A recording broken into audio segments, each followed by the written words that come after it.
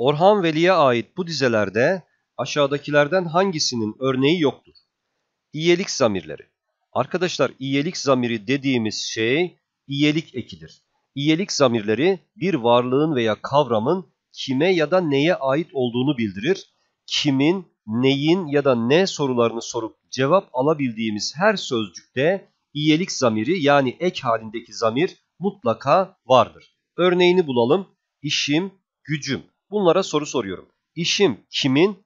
Benim karşılığını aldım. Gücüm kimin? Yine benim karşılığını aldım. Soru sorduğum şu işim ve gücüm sözcüklerindeki im ve üm ekleri kesinlikle iyelik eki yani iyelik zamiridir. Dolayısıyla A seçeneğini geçtik. Belgisiz zamir. Üçüncü dizede geçen hepiniz sözcüğü daima belgisiz zamir görevinde kullanılan bir sözcüktür.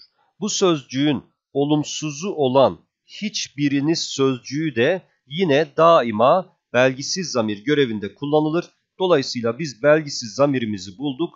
B seçeneğini geçtik. Soru zamiri. Şimdi dizelerde geçen kim sözcüğü soru zamiridir. Arkadaşlar bir soruya verilecek cevap isim ya da zamir ise o soru kesinlikle ve kesinlikle soru zamiri olur.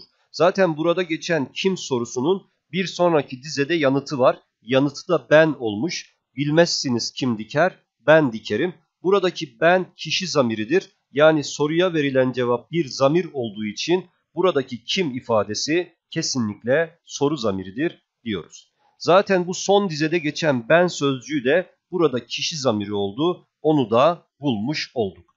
Dönüşlülük zamiri dediğimiz şey kendi sözcüğüdür. Fakat dizelerde bu sözcük yok. Dolayısıyla bizim cevabımız D seçeneği olur arkadaşlar.